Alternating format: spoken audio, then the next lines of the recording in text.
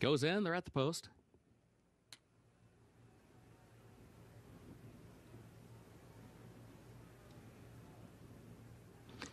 And they're off in the Jenny Wiley Stakes.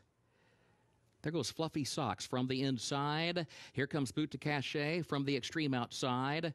English Rose moving forward down to the inside as they head for the first turn. Didia is up close, then surge capacity, but it is Beaute Cachee who's got the lead, but outward from the rail. Heading into the first turn, English Rose forwardly placed along the inside. In second, Didia goes third up on the outside. Walkathon is fourth back toward the rail. Surge capacity alongside her in fifth. Gap of two lengths to Gina Romantica, one lane off the rail around the first turn in sixth by just a neck. Fluffy Socks is now settling down to seventh on her inside. Embrace Me a wide eighth as they head up the back stretch. And then Elusive Princess, who's in ninth. Star Fortress last of the 10. It was 24.18 seconds the time for the opening quarter.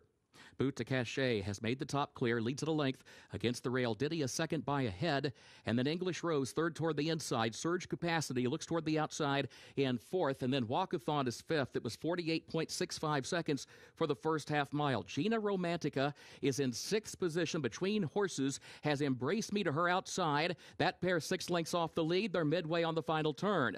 Beaute Cachee leads it by a length. Didia second on the outside a length. English Rose is third. Surge Capacity Fourth up on the outside at the top of the lane. Beaute Cachee still has the lead. Didia English Rose toward the inside. Then surge capacity. Gina Romantica is still six lengths away. They're into the final furlong. Beaute Cachee leads it. English Rose to the inside. Didia still there. Beaute Cachee in front. English Rose is still two lengths away. Beaute Cachee in deep stretch here, chased by English Rose. Beaute Cachee, 25 to 1 upset under Frankie Dettori in the grade one, Jenny Wiley.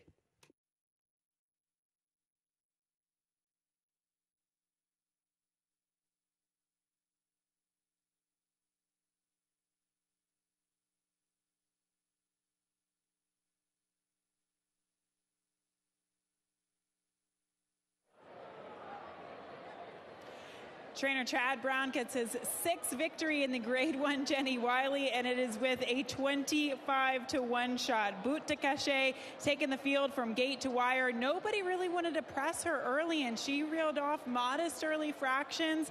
Nobody pressured her. We saw a late bid from the number five horse in the late stages of the race, but she could not quite catch her.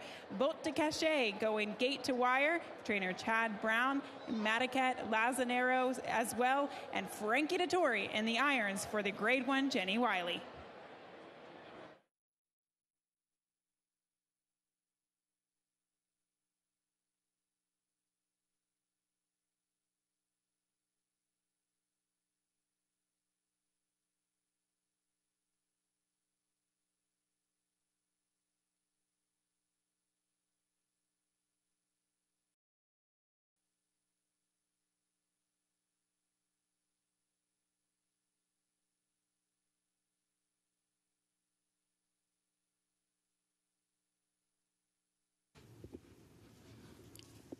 The official winner of Keeneland's ninth race, 36th running of the Jenny Wiley Stakes Grade 1, Beaute Cachee. Owned by Madaket Stables LLC of Sol Kumin, owned also by Michael Dubb and Louis Lazzinnaro LLC of Louis Lazzinnaro. The trainer Chad Brown, the jockey Frankie Dettori. Beaute Cachee, a five year old mare by Literato out of Sign and Seal by Hurricane Run, the winner bred in France by Gregor Vichet. 1 minute 42.9 seconds. The time for the a 16th. Over the turf listed good.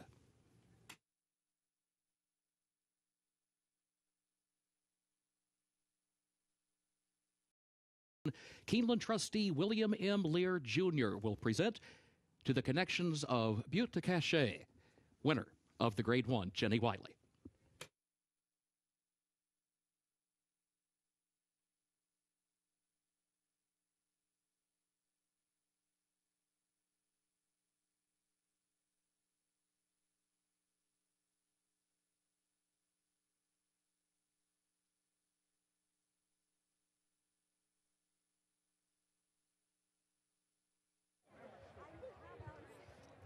Beaute Cachee taking the field gate to wire in the grade one Jenny Wiley. And here with winning rider Frankie Dettori. A couple of days ago, you won a race at Keeneland. You didn't do the flying dismount. There are a lot of disappointed people not in the today. crowd. Not today. You stuck the landing. Congratulations. But Frankie, take us through this trip. Were you surprised that you didn't really get any pace pressure today? Uh, yes, I was. I thought uh, the nine horse had speed. She won the Pegasus in front. But Chad left it to me, and she broke well, and uh, I was able to get to the front in my own terms. And uh, like you said, nobody pestered me. And when I got to the quarter pole and let her loose, the only thing on my mind is uh, she has run for four months. Hope she had the legs to get to the line, but she never stopped. Never in doubt. And you know, obviously, trained by a master trainer, I uh, I uh, just did what I had to do, and uh, it was pretty easy. To be honest with you. You've won many grade ones around the globe. How does it feel to get this grade one Jenny Wiley at Keeneland? Yeah, of course. Um, Keeneland is a very important meet. I've, I've, had a couple of winners in the past. but not as big as this one. Uh, we got three weeks to the Kentucky Derby. I'm trying to sell myself to the Kentucky people for, for the meeting coming ahead. But uh, yeah, listen, uh, beautiful day. We got a full crowd. We need a group one for Chad and the team. Uh, it's fantastic. Uh, if you can't sell yourself, I don't know who can with your resume. Congratulations, Frankie. I bring you over to winning trainer and Chad Brown. Okay, well, she surprised the betting public. She was 25 to 1 today. Did she surprise you?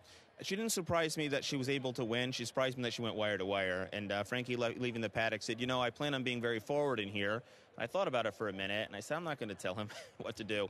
So, um, such a, uh, an important win uh, to share. I've never won a grade one with, with Frankie, so um, obviously anything can happen in those magic hands of his. I want to thank the partners that weren't able to be here today Sol Kumin and his partners, Mike Dubb and Louis Lazzinnaro. Um, they couldn't make it, but huge win for them. And my team, you know, it's our seventh Jenny Wiley. And uh, like I said in the Bluegrass, many, many of the same team members were with us for the first one. Uh, the horses may change, but the people working and making it happen haven't. So uh, it's really their win. They did all the work. Yeah, when you reflect back on your other wins in the grade one Jenny Wiley, I mean, how special is this race to you, just considering the fillies and mares that you've brought here? Yeah. Well, when I worked for Bobby Frankel, he won it four years in a row, and I could see him you know, put this on a high priority list. And, you know, he, he not only taught me to train, he, he taught me, you know, what really matters. And Keeneland was a very important meet to him, uh, starting his best turf fillies uh, early in the year. He really targeted this race during that run when I worked with him. And um, I knew that if I had good enough horses someday, I would do the same. Congratulations, Chad. Thank you. Beaute Cachee taking the field gate to wire in the grade one Jenny Wiley.